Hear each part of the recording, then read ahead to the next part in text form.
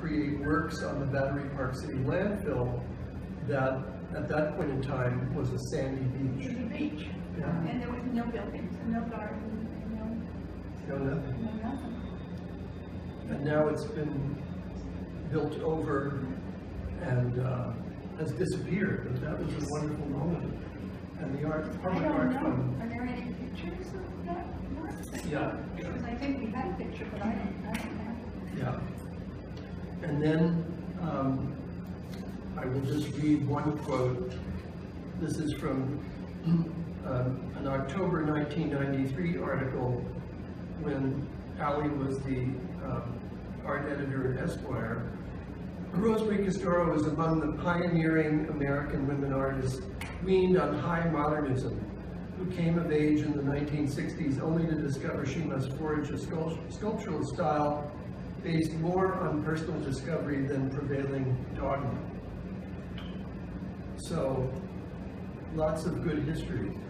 Um, here we are today, it's a year after Rosemarie has died. And um, this exhibition celebrates five decades of Rosemarie's work. And I'm very happy to have among this crowd people who've collected Rosemarie's work, who've written about her work, and who have curated her work. Um, thanks, Louis and others. Um, Barbara, who was involved with the Home Sweet Home show back in the 80s. But I'll let you do some talking. Well, I mean, I'd like to first start asking some questions of our audience. Now, how many people have been familiar with Rosemarie's work before this? I well, I mean, I know, recently. Well, see, Janet, but this is so fascinating. I have known Rosemarie since the seventies, and I had no idea of certain aspects of the work until I went over all the different phases with Hal. Nor did I re- really, um, what do we want to call it, internalize the astonishing fact that she made almost all of the sculptures herself. She did not have a fabricator. Uh, Ninety, I mean, there may have been a few things that were fabricated along the way, but ninety-nine percent of them, she did it all. So Unless they were large-scale Right. outdoor that needed that. commissions, Commission. yeah. But I, I just want us to look maybe at what is here and in the exhibit and think of the astonishing number of marks that was made. And also when she, uh, even in the early paintings, they're very labor intensive. They don't, and they're usually based on, what I thought was interesting, they're kind of her code, she had codes that she set up. Uh, when you, and uh, they often related right back to, to language, but it was very subterranean in the work. I mean, when she did the whys, did the whys mean why, like why, why do we need why? Right. Um, And again, I had never, ever seen these early paintings, very colorful paintings. And at a certain point, she basically uh, decided to remove color from her work. That is an enormous decision make, for an artist to make. It's a real um, uh, um, editing of the sensibility. And I, since I had never known the color work, when I would talk with her, I never asked her, why did you stop using color? Because I didn't know she used it so early on in the Yeah, sixties. That painting, This painting. the rose red painting is 1964. now think how, if you think of what was going on in painting at that point, it was kind of the apotheosis of color field painting. Uh, abstract, abstract expressionism had kind of moved a little bit, at least to the middle of the bus, if not the back of the bus. And she was, um, experimenting with color in a kind of minimalist way Mhm. that predicted the, um, her, her, I think her intellectual involvement with minimalism, when the minimalist artists became her friends. And then, of course, since that was an old boy network, they weren't really very good friends um, in terms of a professional um, uh, uh, career path. And I don't know. I- Well, what, what you're talking about, I think, is the, is the age of the men. The men, the men, the club, the men's Yeah. club, that's right, which We- is going, all the way up until, really doesn't start to break down till, till, till, till after, what, seventy-eight, seventy-nine, with pattern painting, with people like and with feminism, the rise of feminism. Mm-hmm. You know, she was in the boys' club, because she said, you know, they all came over to her house, but, but, but she wasn't a member of the club. Right. Frank Stella, Sol LeWitt, David Novros was there too. her husband Carl. Andre. Those artists, of course, as we all know, have become household names in the contemporary art world. But the women of that era, whether you're talking about Ree Morton, Eva Hesse, Ursula von Rydingsvard, Alice Adams, Jody Pinto, any number of, of very talented women, were always You can think of on the second level to the men. even if that, even if on the second. Yeah. They really Well, In the shadows. it doesn't break apart until or after, until really starts breaking apart, maybe around nineteen seventy-seven, when the big, uh, uh, flock of all the California artists start to come, when pattern and integration starts coming, when you have Holly Solomon, when you have, and you have, um, as I say, the rise of feminism. Um, What, what year did the Guerrilla Girls show? Oh, God, that's gonna be, yeah, that's before, that's seventy-five, seventy-four, seventy, around there. Janet and I on the radio show, Cat Cafe, uh, last week, we were talking about, um, the men and the women and how the women were always in the shadow, and then the Guerrilla Girls started to say, wait a minute, this is not, Let's count the number of artists, women artists, but they didn't, well, of course, since the Guerrilla Girls were artists who were disguised and wouldn't reveal who they were, right. um, it was kind of, on the one hand, they were fabulous in bringing attention to the problem, but I don't know how much it influenced the careers of those women. I think Martha Wilson was one of them, she never tell, mean, you know, she's the Franklin Furnace founder. But by then, that would have been seventy-seven, because Martha doesn't come till seventy-six. Um, the art world had expanded so much after the, the, the late sixties and early seventies, it just blew apart. Alice, you, you would say that, wouldn't you? Mean, how, suddenly there were, you know, two hundred galleries, and we're just sixty galleries. Mhm. And there were all kinds of uh, currents that were coming together or fighting with each other. Rosemarie, in her own way, never played the game.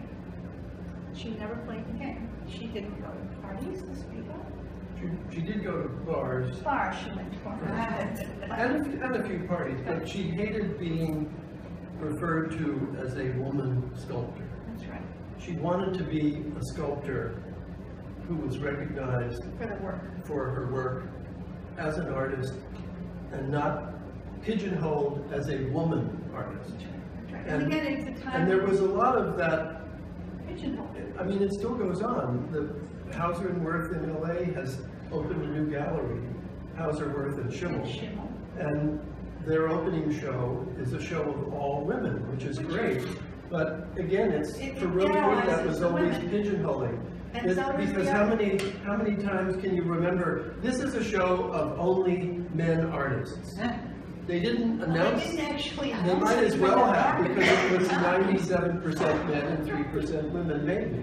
And then there's the Museum of Women Art, Women's Art in Washington, which many people found very offensive when that museum was started. Right, They Rosemarie was invited to be in a show there and She wouldn't do it. refused. She She said, no. She I'm not, don't do it. Yeah. And then we might think that when, when Rosemarie was, uh, she's a gen, well, more than a generation, she's a generation and a half younger than Louise Bourgeois. Think how long it took Louise Bourgeois to get recognized. She, she, she almost had to die to get recognized. Certainly Louise Nevelson was recognized for her, uh, theatrical presence in a strange way. And, um, But only thanks to Fred Mueller. Only for- And okay, Arnie okay. pushing very hard. And if we can think of sculptors, women sculptors, uh, we could think of, uh, who am I thinking, uh, Anne, what's her name, Pillars. True. Thank you, Anne Truitt, who wrote, have you, has anyone here read her, the trilogy of books she wrote? I recommend them to all artists, they are amazing, amazing. Now, what happened to Anne Truitt, again, right around when Rosemarie was downtown. Uh, Let me say another thing, when I, when I worked at the Village Voice in the seventies, the New York Times didn't cover anything below Fourteenth Street.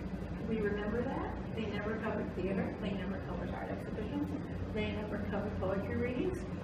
So it was a different world below 14th Street. Rosemarie was born 14th Anne Truitt had this great show at Harry Emmerich. She was so thrilled, and she thought that finally she was going to break through. Probably around 1963 or 4, or maybe a little later. And, and she came from Philadelphia. She put up her beautiful sculpture. She thought everything was going to be wonderful. Not one of them sold. And Emmerich said, said, "You're not, I'm not, we're not representing you anymore." So she did that. She's written these, these, these, they're really autobiographical diaries of the artist in the studio. And, um, they really get right to the heart of how do you keep making your work, which is where I want to go with Rosemarie, when you actually have suffered many, many kinds of rejection and lack of recognition, and lack of money. Actually, Anne, Anne Truitt didn't lack the money. Rosemarie, I think, was incredibly um, um, gallant and, and resourceful, resourceful with what she had. I, I don't even know how she afforded to do it all. She worked hard. She worked hard. She worked You represented her, I mean, how did you, would you show her to collectors and what? Well, when I, when I met Rosemarie, um, I was a student at Brown. But I loved her as a person and I loved her work and we made a deal that I would take pictures of her art and help her document what she was creating. Because I had a good camera and I had a dark room at Pratt. And um, we did a trade. So I was able to be someone who couldn't afford any art, but I had a piece of Rosemarie's through this trade, which was pretty great. Classic barter, right? Yeah, but she was showing with Tibor de Nagy, she was showing with, had a great gallery in Paris. Um, Eaton showed in California. And then Tim, Tim Eaton in, had the new gallery in, in Florida, Beach. Um, but, you know, it was tough because the women were simply not people who got the attention. I mean, it- Critical it, it, was widespread and to a big degree still is. Um, that's how it was. Well, also, I think another thing that uh, Rosemarie uh, is remarkable for is the, the originality of her work. You can see different influences, you can see, you know, how uh, she changes over time, but you can't pigeonhole her. And that's, actually, that's a detriment uh, to an artist uh, being able to be saleable, right? People, They have to have a style. I remember a story Deborah Remington told me, another artist who, Deborah said, yeah, a good, a good friend of Rosemarie's and, right. and, and of Ed. I remember Ed, when, when Pace uh, had uh, Deborah and that she wanted to change what she was doing, and they said, you can't change. And she quit the gallery. But she, it, she never had as prominent the gallery again, right? But she, she didn't want to have, they wanted her to make recognizable work that they had, you know, uh, accustomed their collectors to. They didn't want her to go to some radical, um, uh, new style. And, um, so Rosemarie is always experimenting. Look at the drawing she makes where she's drawing the floaters in her eyes and she's drawing her, you know, bits of hair.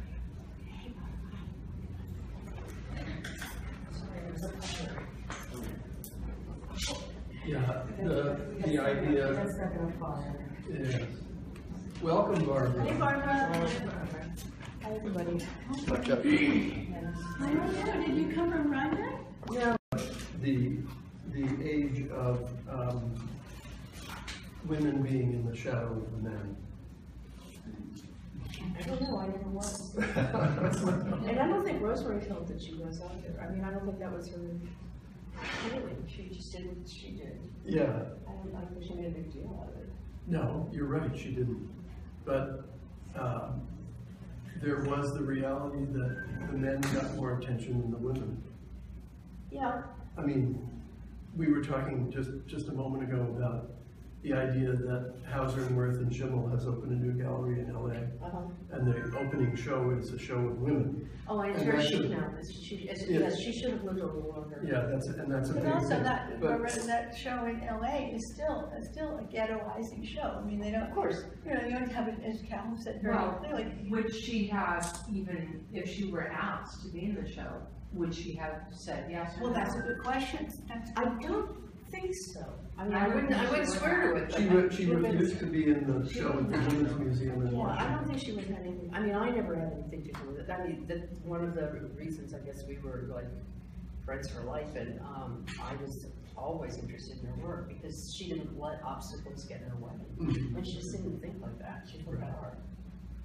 Right. I would still argue though, Barbara, that, um, the quality of the work, uh, was greater than the recognition of that work. Oh, yes, but I mean, you could say that about any number of painters over centuries. So what's wonderful is that people are interested in the work now, and it is gonna go on. Um, and it does have quality, and it is especially innovative. I mean, Rosemarie was always making something else That's what we were Yeah, just saying. always moving on. yeah, on. always, which is unfortunate, because if she had stayed with anything long enough, it was, that, you know, everybody would have said, oh my God. Oh, that's a Castoro. Well, that's the thing, that's about the branding issues, that the Yeah. galleries really like to have predictability in the artists that they represent, because, you know, they want the people to walk in and say, oh, I recognize them. Ally was mentioning that when Deborah Remington wanted to shift gears, With pace, Pace said, no, don't do that. Oh, the branding is very important. yeah, Yeah, but, and so she quit Pace, that's when she, she said, I'm not gonna be represented by you anymore.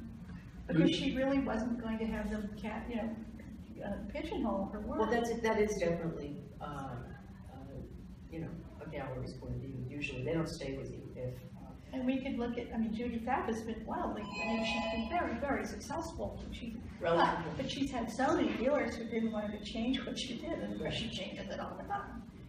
And It's never but predictable. that's, that's not, that's not a woman's issue. That's, uh, an issue about how, Well, that's an Yeah. additional, how style and stylistic evolution has become Or brand. branding. It has become branding, because it's marketing, because that's what galleries are about. Yeah. So that's where we are.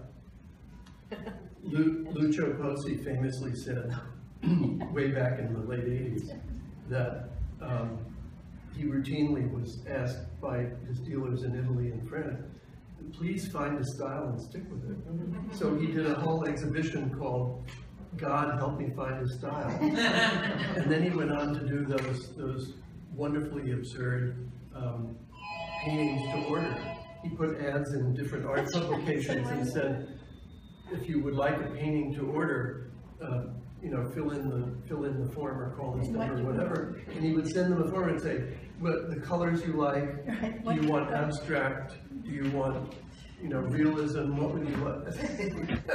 And then he made, several people, serious collectors loved it because they knew Lucio, so they said, we're on, we're buying one. but remember also Komar and Melamid when they did the Oh, survey yeah. about what were the, A red. what were the ideal, uh, uh, um, what was the, I think it was limited to America, but what are the ideal elements in a painting? As I recall, it had to have a lake, it had to have a tree, it had to have a white horse, And, and it had to be red. as I And it had to have red, and then it had to have a mountain, and then they made several paintings of these. It was actually international. Yeah, the internet, those, those are, those are the, uh, No, but I, you know, let's get that back to this, um, Rosemarie thought of herself and was a Renaissance woman. The other thing she didn't stay within, you know, painting or sculpture or installation or performance, I mean, she did everything. And that's, again, uh, you know, deadly in terms of a career.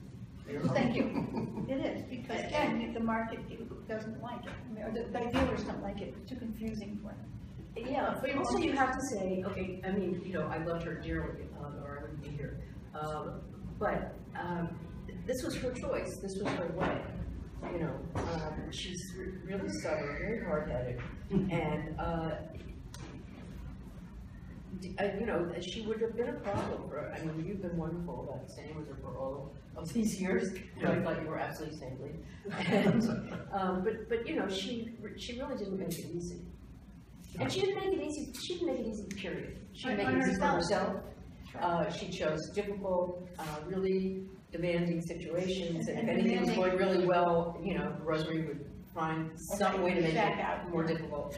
Uh, Well, and I mean, just in terms of sheer physicality of making these things, she put huge burdens of difficulty uh, in terms of craft. the kind, yeah, the, the big metal sculptures, which I think are incredible. Unbelievable, I mean, Well, that was not so difficult to make. The ones that are impossible, and I don't even know how many there are, are those ones that are like Iron Maidens, you know, they're like Mhm. caves and Iron Maidens. The little one there. Yeah, there's a small one. which are like the they're, flame and the dancer that, that's, that's incredible. No, but I, the, the ones I'm thinking of, and I don't know how many there were, but they were Very faceted. They were faceted, yeah, and they were, uh, well, they had this kind of, um, kind of hostility, with the, you know, kind of, you know, stay away from me. Instead of, they, but they were two-sided, they were like caves, they get in here, you're warm and, everything, but then they were at these points, uh, that were sharp. So the, and I think that that's part of what the interest in her work, which is this tension. You know, there's a great deal of tension in all And drama, and drama. Oh, a lot of drama. Very Lot, dramatic. lot of drama, Yeah, yes. And, uh, but for me, the idea that she would, you could, you could go to Rosemarie's studio and two months later, she'd be off in some new direction. Absolutely, oh, yeah. And she'd be there grinding, she'd be well with her mask on, welding, and everything going. She was in her element, the tougher it was, the more she loved it. Well, that's true. Yeah, that- That, that's true, and that's just a psychological, some people are like that. Yeah. Some people like to make it, and I used to tease her because as we were both Pratt people, Pratt had this drilled into you if you went to Pratt back when we did. Be true to your work and your work will be true to you. Um, Well, her work came first. Weekend invitations, parties. If she was on a roll, no, I have to stay in my studio. Yeah. She would skip everything, all kinds of things. She would even skip, doctor's appointments. she would skip it and stay focused on the work. She was indefatigable. Hell, I always wanted to ask a question, which I'm sure so I'm gonna, wuss I am. The welding, how could she do it in that, what, wasn't it a fire hazard? I mean, That's why? probably, She had a, no, she had a fireproof floor area for the welding, in the, the whole welding setup was very safe, actually. Okay, Yeah, okay.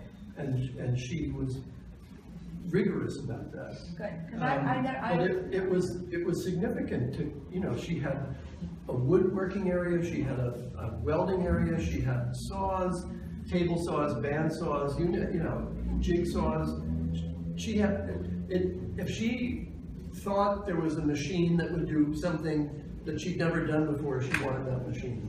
I once went to an auction in the country with her, and she bought a saw at the auction because, you know, it was like, she didn't have that one. Table saw. No, a big thing, yeah, big bandsaw. So, that was, But- she reveled in that. but that, it- that goes back into this sort of quote, women's issue. Because, um, the feminist art is not exactly, give me the biggest saw that you've got, you know? Uh, let's make these great big metal things. Uh, so she's, she's really not where, she wasn't, I mean, I don't think she intentionally, uh, worked against stereotype, she didn't have a strategy. It's just, uh, the way she was. Um, but if you think of the kind of work she always did, uh, it, it was always against the grain. I mean, she's doing monochrome work, nobody's doing it. Those, those paintings, by the way, are, are great paintings.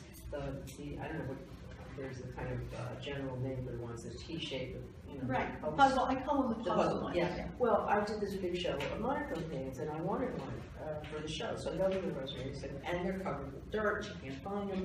And I said, listen, this could be really important, but she wasn't helpful, No, so there wasn't, so it well, wasn't. that's what I meant to the element of the way you're going against the, She went against, against. against Yes. the, what we might call uh, ne- necessary uh, moves within the art world to Yeah, but even somebody who like wanted to help her, I mean, That's she what I was, know. no, I, I thought you were incredible hanging out there, I mean, I figured she gave you enough problems also, because, uh, I did, I was able to put her in some group shows, but those were pieces that were kind of already there, or I didn't have to do too much to get them, Right. but, yeah, um, but, uh, she wasn't You know who else was like this?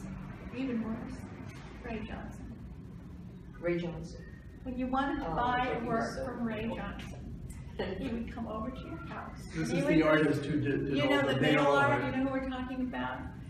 New York correspondence. Correspondence Yeah. school, right. And he would come over and he'd have his little satchel and he'd put out the work. I was thinking I should get one, because I could pay him overtime. So I say, okay, Ray, what do you, what do you want, Brett?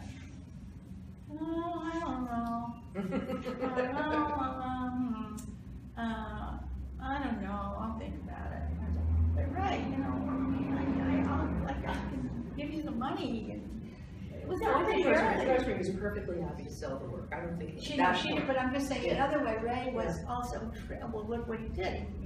He, went out to Long Island and he basically sequestered himself. Yeah, but also he did mail art, I mean, he did this very minor art, Rosemarie did I know, major art, major art. and that's a big difference, I mean. Oh, I know, a- I'm just saying, Yeah. there are all these temperaments that do Well, there arise. are, well, first No, Rosemarie was doing, that was the other thing, she was, again, the realm of sculpture is a particularly difficult one as well. yeah, oh. It's difficult. It's hard to make it, it's It's difficult to sell it, to- difficult to store it, everything difficult about it. To ship it, and, and she. That's why you have conceptual art. Yeah, 'cause you. All you do is you pay the guy the ticket, gets on the train, and then that's it, and then go. Let's just take Larry Weiner, he just traveled Europe with, ba- with the ba- basketball press type, that's. There you go. And- then you have a career, and then you get a press agent, I mean, you so I a show think- the MoMA, and stuff. We really have to Um, respect the astonishing, Respect, I think that's very important. I mean, I've, I've always had, you know, tremendous respect for Rosemarie as a person and as an artist. Um, she, uh, she didn't lie, cheat, steal, you know, none, none of that bad stuff. And I even lived with her for a while. And it's, I, I felt, uh, that she was not feeling well. And I was living in Italy, and I was running a program. Uh, and I, I could hire her to teach sculpture. so she So came she, over. so she came, and, and I knew it would be good for her health, and it was, uh, but I did get to live with her. And, uh, it, it, it wasn't that easy. It, no, she, she was difficult, she was a difficult In person, way? she was also great. In what way? Hmm? In what way? In what way? Well, if you were cooking, Yes. she would be looking over your, oh, you're gonna put that? Uh, I would never put that. Are you sure? Yes. Hypercritical. Be hypercritical of anything. Just, uh, because she was just a contrary person, it was, it was her personality, and it's what makes the work interesting, because this doesn't come out of a simple person.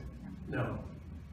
I never thought of it that way, as a- a contrary. Oh, she was very But- good, but- she was. but you're right, She that- was, you know, there's that, uh, Huysmans book, Against the Grain, I mean, that was uh, Rosemarie, and that is what accounts for her originality, because she's a genuinely original Well, she artist. forged, excuse the pun, her own path, but also let's talk about how astonishingly touching her great love of dance and how the dance, she embodied it in her sculpture Yes. in this incredibly Yes. original way. Yeah, And if you look at them and you understand that she was addicted, Yeah. devoted to dance. yeah, Uh, and, and this was her way of expressing it or whatever. I think these are, these, these, the dancer ones are. oh, yeah, yes, yes, I think that's a very important. And element. I, it may, I was thinking earlier today, we could now lament the death of our criticism, which Barbara and I would be happy to do if anyone wants to talk about it. But, um, we don't any longer often see too much that talks about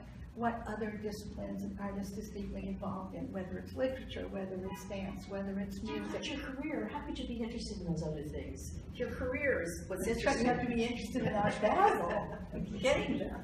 But so, No, everything's changed. I mean, Yeah. in the sense that, uh, that Rosemarie is not a personality who would thrive in today's situation regardless, she just wouldn't. Uh, it's, it's, it's not uh, cut out for multidisciplinary, as much as they talk about it, that's not what they mean at all. Uh, they mean a bunch of gadgets and, you know, and like a little bit of movies and a little bit of sound and a little bit of Bjork and a little bit of Some and a little bit of, you know, but they don't, they don't mean. but I'm saying her, her, her commitment and, and, and, love of, of, of was, uh, Working with uh, Yvonne Rainer. Working with on. Yvonne Rainer, which I don't know how many of you knew she did that, but she did, Yeah. and she, um, I would say that was her, you know, her second passion. really. Yeah, it was, absolutely. Absolutely. And, um, And I, she did yoga every day. And Yeah. I remember we were on a boat to Sicily with our students. And Rosemarie was much better at it than I was. Um, and, you know, she did these very, very complex, the boat's going like this, and she's doing these really complex inverted positions and stuff. So there's a physicality about the work, but there's also, you know, there's all this talk about body, body, whatever, because it's chic. But, um, she, she, you know, she translated the movement of the body into these metaphorical forms. Yeah, but, but I'm glad you brought that up. And even the fluidity of the line, a lot of it, you know, it's sort of ingrained in her, in her being. Um, I think all of her work, um, from, from the perspective of, of my side, uh, always involved a sense of motion and energy. Perhaps sometimes, as you said, in the, in the pointy, And sort of violence, dangerous right, right, pieces, right, yeah. compressed, but that energy is there, kind of ready to burst out. Yeah. I mean, you, the piece behind us, by the way, is from nineteen seventy, its title is Triptych. Um, This piece came from the, the earlier pieces that were the brushstrokes on the wall. And the brushstrokes were Which I love. cut out with jigsaws, textured with white gesso to create a dimensionality to the surface. And then Rosemarie, after the gesso had dried, would draw on them with graphite. So in rotating corners, which is right here, you see these huge brushstrokes with a three-dimensional effect created by the gesso and the Again, graphite. frozen movement. Frozen It's movement, again- yeah, again frozen movement. yeah. But you know, it's, there's not a real critical vocabulary to talk about her work, because it's so singular, it's a, you know, it's, it, even though its scale, its ambition, I think you have to say it's major work, but it doesn't, it, That's right. I mean, Ray Johnson didn't try to be a major artist, that was not his No. ambition. Uh, yeah, but, but Rosemarie wanted to be out there in the big leagues, You know who I would compare her to in a weird way is Ursula, By right, by right, in terms of the No, there's much monumentality more of variety, the. much more Oh, I variety. agree, Yeah. but in terms of as much as the, I love the, Right. the, the, work, I the, do. Ursula has a brain. She's a, she's got a brand now, it took a while, but she's got it, but also just the sheer ambition that she shows in the wood pieces, but she's got a studio full of assistants. I don't know her well. I mean, I, I admire her work, I don't really know her. And she has something like six guys up there, you know, being on the wall. There was an interesting show at, at the, um, that just closed at the, um, Met Breuer, the former Whitney, Yes. of, um, Oh, no, a, no, no. Yeah, Nasreen Mohamedi, Mohamedi. Oh, I was I yeah. didn't see it. Uh, and it was work that I was not familiar with at all. But looking at that show, I was amazed to see threads of Rosemarie's work, of Rosemarie's friend and peer, Sol LeWitt, um, other artists. You think that through knowledge or by coincidence? I think it was, it's interesting because I tried to read a bit of her biography to see whether she had met certain artists. Uh, she was a big fan, uh, just through literature, learning about Agnes Denes, but she uh, was very, I mean, if you look at some of Rosemarie's early works from the late sixties and early seventies, works on paper, and you put them in a show with Nasreen, you would say, gee, th these two women were on a, on a track together, even though they didn't know each other, couldn't have been aware of each other, it's fascinating. But there are, there, yeah, there are, there That are happens. coincidences, that, ha- no, Yeah, that happens. I've seen it now, certain kinds of Yeah. coincidences, and, and they are literally coincidences. But they are something in the context or the environment or the psychology of the person or wh- whatever. Or the time frame, the- Yeah, that's yeah, what I'm the saying, cultural- context. Um, I think, uh, it's- it's one aspect of Rosemarie's personality, uh, that you see in the work, but if you knew her, uh, you know, you'd get it right away, was her extraordinary courage. Mhm. I didn't know she was ill for many, many, many years. No, I mean, of course I did eventually, one would know, but, uh, I, I didn't know how long she'd been ill or how serious. I used to take her to the doctor, so I can. Well, I don't know, I don't know when you, when you found out, you know, I mean, I knew in the last ten or twenty years, but I didn't know when, yeah, I I didn't know when she began to be ill.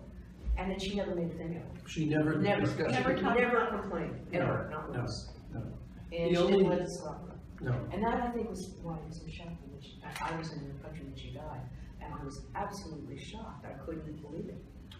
in this, uh, I've been working closely with the family and, and her estate, and in this exhibition, we have work, Yes, um, wonderful. just on that wall over there, It's very going work on, on paper from, uh, the early part of the two thousands. And there's a series of three pieces that the family wanted me to consider for the show, and I said, yes, they're in. And it's, um, three eye charts.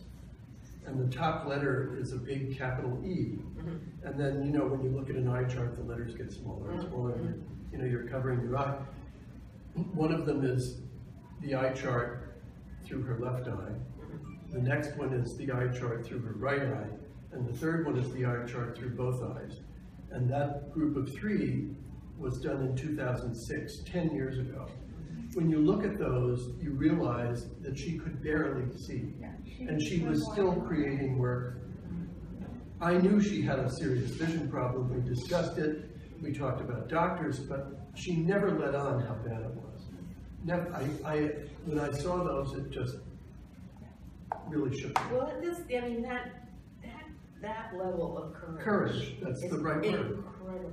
Yeah. Well, and, the- and the courage is in the work, because Right. how can you keep making this work that, yes, you know, s- some people are responding to it, uh, but not a lot, you're not getting big applause, you know, you're, you're not, you're not uh, getting to be Niki de Saint Phalle or Eva Hesse or, you know, yada yada, it- as, as a friend of ours would say. Anyway, it's, you're not, you're not, you're not getting the kind of feedback that would give you the will. So you had to have just sheer guts. Right. I mean, the belief in herself, Mhm. which, uh, I, it just was always, was so impressive. So she was just a, a truly impressive person. What's strange is interesting, you think that uh, Rosemarie and children, you know, that wouldn't go. My daughter's absolutely devoted to her because she knew her as a child. Rachel. And, yeah, yeah, Yeah. Rachel, Rachel loves grocery. And, um, you know, always- always did, loves her work, kept up with it, but she liked her as a, a little kid. Uh, and she did have a playful quality, which again, you she wouldn't think of in the she work. didn't talk down to children. No, no, but that's what my daughter liked. She didn't want to take down to. We have with us today Rosemarie's niece, who did know her as a young child. And uh, I think, I think that happened in their relationship. Did you feel that too? That, that, um, she was the kind of Absolutely. buddy, yeah? Absolutely. Yeah, But a- again, she was my aunt, so I knew her as my aunt. And, uh, you know, I, I kind of missed all this growing up, this art thing, because she never really wanted, uh, to talk to us about it. So we, to her, we were just, you know, family and kids, and let's have fun, and let's, you know, put everything on society. She didn't foist it on you. She really didn't. no, but she was also, it's also the let's have fun part too. I mean, she was, she just in- in no way was a draggy, drippy person. And she was really upbeat, she was always, you know, go-go, she was, uh, she was fantastic about things like that. I, I, think- I, I often think about that, uh, and, and I, I think, God, um, amazing, given what she was actually going through. Yeah, we, Janet and I, uh, on, on her wonderful radio show last week, talked about um, what was happening in, early in her career when we were first working together, after I had a gallery and said, I'd love to show your work. I didn't want her to sever her relationship with Tibor de Nagy or any other comic. That was not of interest to me, but I did want to try to promote her work because I loved it so much. I much. think, in fact, I'm sure that was of my making, because Johnny Myers was one of my best friends. I was gonna say, well, Johnny Yeah, was still and alive Johnny, then. no, it was Johnny, and, uh, and I, I think I, I talked Johnny into showing. But it wasn't, and yeah. A number of other I- I people. remember, Yeah. I worked for him, you don't remember that. Me and David, I kind of do. David Yeah, ooh, Kermode. That was really Kermode. funny. I, it's. We were the- we were the ooh, so slaves, long right. ago. from the New York Review, we te- took Joseph Cornell's T-word and Lounge, very funny. But, um, Well, those, again, I mean, if you had a gallery like Tibor, who, you know, was barely there or whatever, he was just floating ghost. And then, but you had a personality like Johnny Myers. I, I was talking with somebody today and I said, you know, the art world's a really rotten place because the good people are gone. I mean, Tom Hess is dead, Henry's dead, Johnny Myers is dead. I mean, all, the- uh, even David- Holly, even Holly. Yeah, even Holly, yeah. David Whitney's dead. I mean, all the, all the people who kept it going in terms of, of quality, values, innovation, and we're not about money or branding. No. They're gone. Those people are just gone. And without them, The only People one I with think is still around, taste. Sam Wagstaff, Yeah. well, you, and then I Taste think Mitchell vision. Algus is pretty, him I don't know. Yeah, he's, I think he's kind of a, he's a I pretty don't But, I- but, but there were people Yes. who were simply gonna, you know, slog it out, and it was just, it was just not the, no matter what, no matter how awful it was and poor, or whatever, I mean, John would, you know, make some kind of fabulous pasta or whatever, he never had a dime. Johnny Meyer. Yeah, Well, nothing. he taught me to cook, you know. There you go. And Here was a story, I'll just divert, just a divert, Rosemarie maybe even know this, but he and a, the first boyfriend, the, the musical, the, the director, you know, the new, uh, Lonnie uh, Dave, no, Dave, uh, uh, uh, Herbert. Herbert. Yeah, Herbert's So, partner, yeah. what we would serve to, uh, W H Martin, yeah, we would serve stuffed peppers. Because. Johnny said, it's a dollar and a quarter a person. They would have the most fabulous parties at Tallulah, Bankhead, and. That's right. um, But I, and and Gloria I came and he put a big cigar in his mouth and pulled dinner. I was too terrified to talk to any of them. No, they would have the most glamorous parties, and they had But- zero, I mean, I know, zero. Yeah. I know, but anyway, And nobody would live that way. I think Rosemarie probably very much like Johnny's literary, um, Oh, they got along great. No, they really They liked each got other. along, I'm sure Oh, they they, got they got along. perfect. Because John was also, first of all, um, polymath, and he was interested in everything. Uh, you know, he had a puppet theater, do you remember his I puppet know, theater? Kurt And- the puppets were made by Kurt Seligmann. And, well, I mean, th- th- those, that kind of a person doesn't exist anymore, not in the art world. Or certainly, I mean, maybe outside of New York, I, I don't really know, but I think maybe not in the so-called visual art world. I, I don't know. Very, It's- well, it's, Janet and I were talking about, it could be a whole series of panel discussions about corporate art world. 2016, It's worse than that. Yeah, it's worse It's than that. much worse than that. it's, it's. It's global corporate. yeah, Uh, I Commodity. mean, the galleries, so-called galleries, are not galleries, they are corporations, and they are set up as orgograms. And the so-called, uh, dealers, uh, are simply, uh, uh, hedge fund brokers. Uh, They put together cartels, and then they have these people who manage their satellites. And I think half the time, they don't know what's in their satellite galleries in the same building. I don't think so, because no one person could be interested in all of those things. It's impossible. Well, remember another terrifying fact that someone just told me that anyone here can disclaim this. I was told that, well, this year there will be two hundred and fifty thousand MFAs graduating. Isn't that insane? You know what they're called? They're called bottle trustafarians. They are trustafarians, their parents need to do something with them, and so that, that- they, they basically store them in these MFA programs. And they think, I will get one of these degrees and then I will make money, because artists make money, and it's glamorous, and, and I'll get fancy clothes, and I'll go to openings, and I'll get to do drugs, It'll be and I'll- and I'll have a lifestyle, and, you know, yeah, it's lifestyle. right. But it's lifestyle bought by the rich parents. Um, you know, you can't possibly afford this. I mean, the MFA program took out of circulation the idea largely of apprenticing yourself. That's right. Everyone, that's- everyone we knew worked for another artist. They did. Yeah, yeah, it was the Bottega, you know, thing, and that is where you got your training, because you needed a job, so you became an artist assistant, you became a slave for a while, but you learned how to make stuff.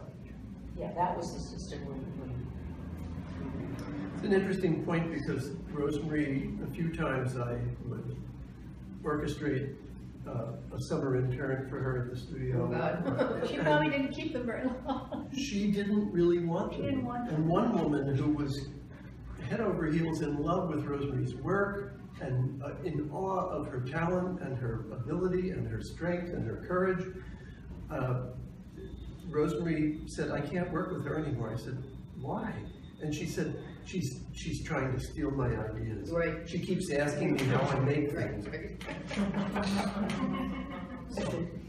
You know, there was always a reason. There was always a A reason. contrarian. Yeah, no, I mean, she, what she did, she was, no, here was somebody who basically had everything except money, literally everything. She was beautiful, Yes, incredibly beautiful. She- strong. Strong, well, strong in men- women doesn't necessarily mean a good thing, but anyway, yes, strong. Uh, superbly talented, intelligent, funny. She had everything going for her. So she had worked really hard to make that not work. Seriously, seriously. No, she was single-minded. Well, but also, now you have to say, she, there was, you know, there's, there, there's an, uh, an aspect of self-destructiveness, but there is often in, in many great artists. Absolutely. Um, I mean, these people who just zip along from success to success, you have to wonder. You have to wonder. I, I mean, I'm dealing. Oh, I can quote a Johnny Myers uh, axiom to you. As Johnny Myers would sometimes say, well, not as deep as a well, but it's kind of as deep as an ashtray. That's it. Yeah, was a Johnny. You're right. You're right. There are a lot of artists like that. But, but, you know, there, there, there's just, there, there, there are no opinion makers. Uh, first, first of all, I mean, my sort of bottom line is, it's not that the emperor has no clothes. It's that there is no emperor. There, there is no authority, there is no, um, so therefore, money, marketing, branding, I mean, it doesn't matter what you're selling, because nobody knows the difference. That's right. Um, that, that No, there's no, there's no, there's no cultural hierarchy. None, none, none, none, not when the museums are being banked by the emerging collectors and the galleries, no, then it's over, then you know it's absolutely over. Um, and, and when what they really wanna get out of it is more trips and more international kayaking, you know, uh, banana eating, hammock line, bi- biennials, and that's what the curators really want. Uh, and that the amount of money that's being spent and the amount of people who are hired in these museums who used, they used to be run by five people. Yeah. Something is wrong, it's really wrong. Well, now we have, you know, the satellite galleries and. Well, whatever, I don't know, it's, it's, the- it's all, it's, it's, it's imploded, it doesn't, none of it works anymore, so. When, when we had the, apart from this gallery, we had a gallery in the East Village in the Yeah. eighties. So the East Village Gallery, the big day was Sunday. Mm. And so Sunday, if people it is again, you should go back. Yeah. uh, people would come in, well-dressed people who obviously had, you know, made a killing in the stock market. And they would ask me what they should buy. They would say, well, who's hot? Right, What, what should yes, we buy? what's hot? They have no idea what they might really like. They didn't know they should like anything. It was just. Nor did they like And this, we're we're talking, let's say 84, 85. So to me, looking back, that was the beginning of the shift toward art as a commodity, art as a status Oh, symbol. sure. Well, Art, and also- art is something particularly, you know, to have on your wall so that when people came over, they, oh, you've got a new Rauschenberg, or you've got a new Stella, or you've got a new Castoro. Well, for Castoro, that was tough because of all the reasons we've talked about, but for other artists who found a signature style, mm-hmm. you know, they fit into that system. But I tried to help people understand that they could buy art that they actually liked. Mm-hmm. They just had to look around enough to see what stayed in their heart and in their head. That wasn't easy. No, but They, they didn't wanna be bothered. They don't, they No. don't, they don't, they're, No. they're, they're much too busy working out and, and, uh, getting on their hand. and- Soul cycle. So, it's- yeah, whatever, especially in, in Manhattan, which I think is, it, it's just dead as a doornail. I I don't live here, so I can say it, but it's just, I don't, you know, I don't get it, you know, and, but I, you know, it's, it's wonderful that, you know, you're showing Rosemarie, think we people will be interested, people will continue to be interested, uh, and, uh, it'll, it'll live, it'll go on, and, and Yeah, that. no, her, her art is, But when, when we look, actually, what you're talking about, those two hundred and fifty thousand MFA people, what, what they're turning out is, is a joke. It's between a joke, and I have to say, Jerry Saltz, the one thing that he, you know, his great phrase, zombie abstraction. That was Walter. Zombie That abstraction. wasn't Jerry. Is that was Walter Robinson. Walter invented that term. Oh, oh, wait, that wasn't Jerry? No, Oh, no, Jerry just picked it up. Okay, well, it's really right, it's, Now, that's what it is. Give Walter the credit. Don't get Walter gets that, yeah. And no, it's zombie abstraction, that's it. But, but people don't need it. They don't need it. Well, you don't need it when you're in, uh, you're, you're absolutely overwhelmed with A, information, and B, visual images in- from your, from your From- yeah, your computer, job, yeah. your phone, Yeah. everywhere. It- It's very easy to have, um, well, you've seen all the iPad, i- iPad, I mean, the iPhone ads on TV that are coming from people's amateur photographs. I think that's very interesting. Most of them are very, very good. Yeah. So, it's a whole other discussion, but Rosemarie also, if you, if you think of the arc of the career, to be, to be, um, coming of age as an artist in the sixties, which was a man, a tiny club in New York, then overwhelmed by the onslaught of everybody who comes to New York in the late seventies, when, when actually, when food, you know, when Manna Clark started the restaurant, but that's when all the California started. Mhm. And then you also had unfortunately semiotics in October, and then that kind of wrecked the, the ability for anyone to actually want to read about any art. That's very true, yes, that definitely stopped reading about And art. academicized it in a terrible Yeah, well, way. that, yeah, that's I mean. I want to, okay, just. Global corporatism Let's ask and how many academic people in this freedom. room actually read Artforum, put your hands up. Put Read your my- hands up, Come on, hands up. You read it cover to cover, don't you? I don't believe, you. I don't believe you for one minute. I made a sculpture of a pile of them, No, but I mean, how silly, think about called the Tower of Babel, And you see, and, and, and in a way, it's probably the one that has the most energy. So all those, the, all these, what Barbara's saying too, I agree, with, all the hierarchies were gone, the supports were Everything. pulled out from under the intellectual, uh, uh, infrastructure, Yeah. as we lost, um, as the publishing was disintermediated by the internet. We know all this, we all know all this, and then anything goes, and anybody can do anything they want, and therefore nobody cares. I think the problem with a lot of art writing now is that writers are developing their theories, and they're using art to illustrate their theories. that already And started you can back then. exchange an artist's work for another artist's work, and Mm-hmm. it doesn't matter. It's about the writer and their ego and their, and their This is, theory, and you know what? There's no place for theory in the artist studio. Well, not, There's not, no place. uh, uh, to be. Not the real It's artist, just, it's just mind, it's like mind games. well, it's, theory has replaced iconography, it is iconography. Uh, and, you know, all of this business about let's get iconography out of abstract art and everything, well, it's back in. It's, but it's theory, and you have to, instead of knowing the story of Ulysses and Circe and all this, you've Well, gotta one know of the about, reasons, uh, you know, semiotics and, um, I don't know what the latest, uh, I, I kind of, I don't know. I'm Well, not- there was I'm not almost, very you know, on all this. The, uh, the, oth- the other, uh, authority and. but uh, when you have no vigorous intellectual interchange, even, I mean, now, wait a minute, uh, Rosemarie actually did, she, she did keep a group of people that she, she played chess, she did all these things, she did have an intellectual life, big one. Um, Most artists don't have that anymore. Well, you know, Not this is- other this is really interesting about chess, because I've played chess with Rosemarie. Um, Frank and I and, uh, Rosemarie and, and Carl Andre, uh, we played chess all the time, and there was a reason. And that was because he had a lot of time and no money. Uh, and so that's what we did. I mean, we couldn't even afford to go to the movies. But I have to tell you that Rosemarie always won. She That's always won, that's always. really interesting. Yeah. Well, should we ask for questions from anybody? We have a few minutes for questions if you have any. No? Do you think this, um,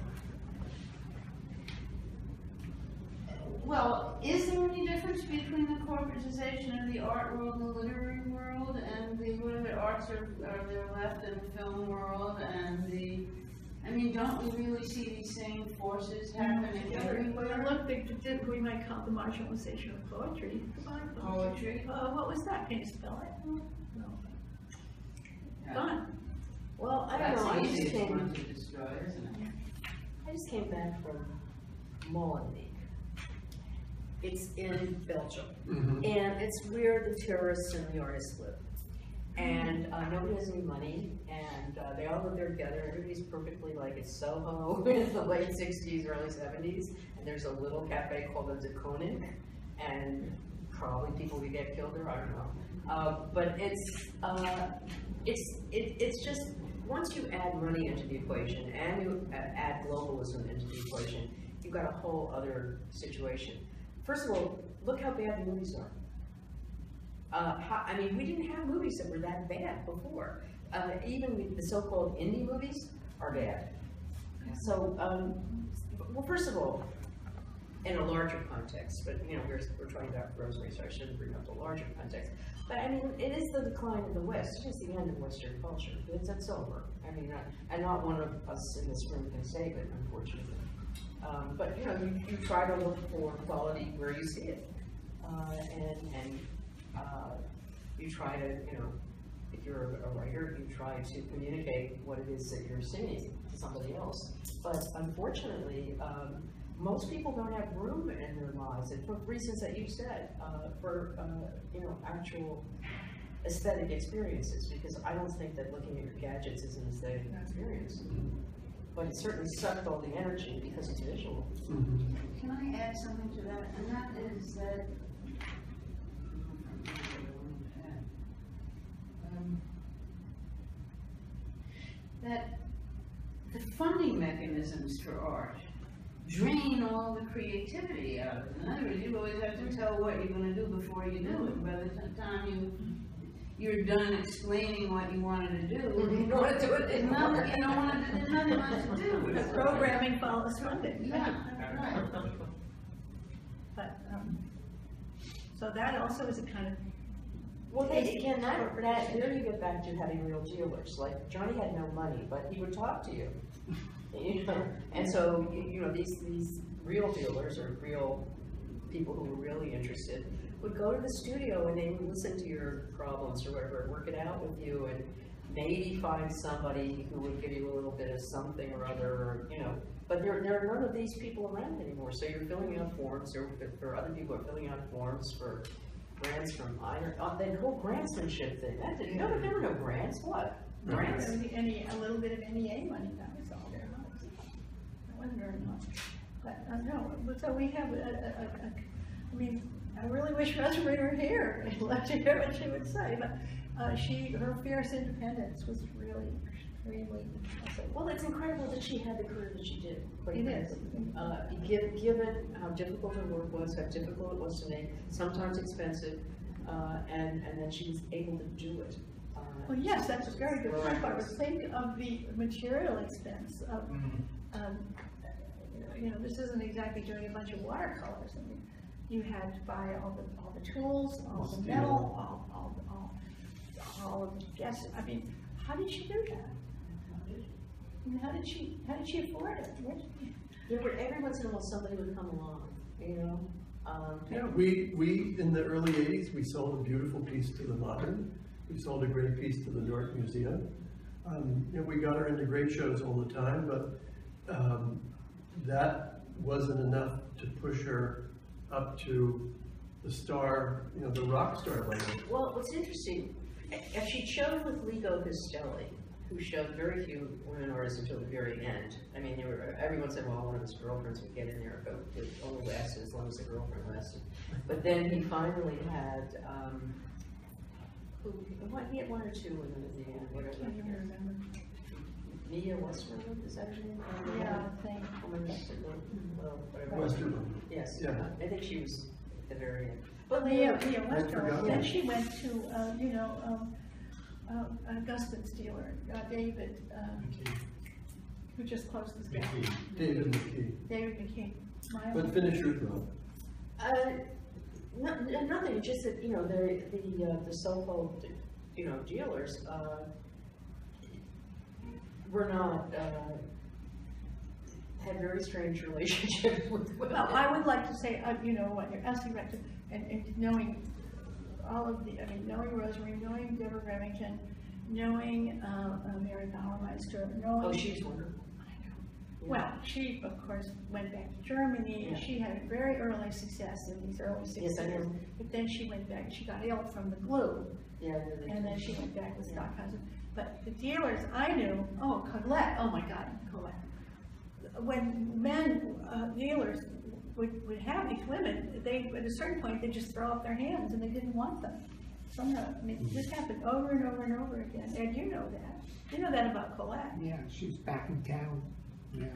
And, and somehow, hell, you were a, a paragon and an angel, but a lot of men, dealers, somehow didn't know how to, um, advance the careers of those women who were often very, Unless they reminded them of their mothers.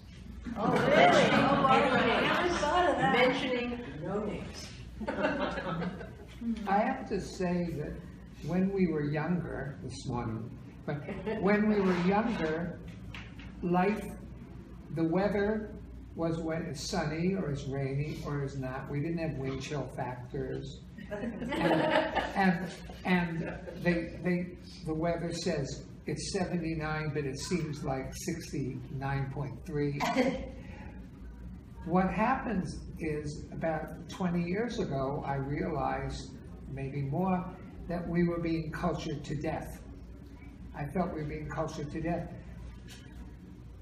Life is extremely complicated. Every day, I'm sure you have this too, there are forms to fill out, things to do, things out of left field. I mean, it's just countless little things, like a, a bunch of fleas can bring down an elephant. But I must say that one of the things, I'm, I'm still for the canon, Yes. et. And I still think there is excellence out there. It's more difficult to find. You have to be extreme, extremely selective, extremely selective, which is not easy because you have so much, so much more to do. And Do you when, get anybody to listen to you? you know, I have a mil, I have a, a million people that I'm in contact with because I, et cetera. But I can only have conversations with two or three people, like Einstein. Right. That because nobody is talking that way. They're very, very busy and they don't, they're not talking, so we're all like dancing as fast as we can.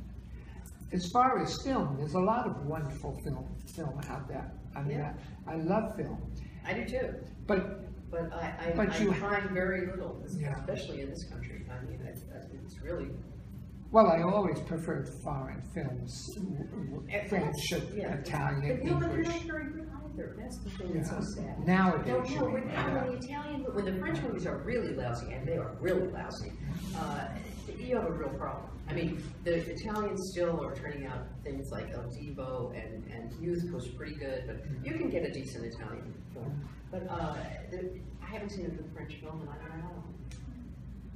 Well, There's a great uh, multiplication of distractions and then. Well, there, we're all talking about the same thing, about multiplication of distractions. And there's also a decline of education, which we can talk about there. I, I also found, I mean, I find artists, younger artists are really very badly educated. They, they're not educated at all. In spite of the MFA. No, they can't read. They, they, they don't I read. know. They don't read, that's it. They can't Pointless to draw write either. They nobody can't reads. draw. Nobody's reading, it's all There, Instagram. uh, there, once, there was a thing at the Basel Art Fair, which I cut out because I thought it was so great. It was the I don't read books fair. Okay, well, why don't just admit it, it's true. Yeah, Um, and, and I don't know what they did there, but it was a Oh, you big mean the with a lot book of fair people. that they had at Yeah, Basel? I don't read books. But, but Dr. Rosary, no, I think that fact that we should all should now think very hard, uh, which very, uh, uh, will let you, but how to keep Rosemarie's work in front of Yes, as many yes. people as we can. Yes, And that would be something we could definitely do for her. And I she think so. more than deserves it, and we probably should have done more during her lifetime. I mean, And Barbara, you did a great deal. I did what I could, but I wanted to do more, but she stopped me. I know, I know. She's good at that. but way back in seventy-two, you were writing for New York Magazine. That's wrote right, about and you it. had the thing, if you put her in Vogue, you did Yeah, a that. lot of them. I tried, I tried, but I wanted her to be in the, mo- the monochrome show, and she would have been a sensation. She would have, because. And she managed to, uh, not find the paintings, have one really dirty one around in the, in the studio, which she refused to restore. No, I mean, seriously. Wow. Yeah, Wow. yeah, well, So she- but we, we will, we will persevere, Right, because she did. Yes. I mean, she did continue to work. Mhm. She cons, she did continue to work regardless. Well, I would say also, if anything, she increased the complexity of the work, and Mhm. she never, uh, you know, how you talk about in a, a dance performance or theater, of keeping the pace. I mean, I don't think she, even when she was packed line, she never stopped. She No, never stopped. That's And- the courage you're talking about, Yeah. which was there. Um, Seldom wrong, never in doubt. Thank you all for coming. Thank you both for I think we should all give Hal an extra. Uh, There exceptions, but there are, there are. So you're invited to have a glass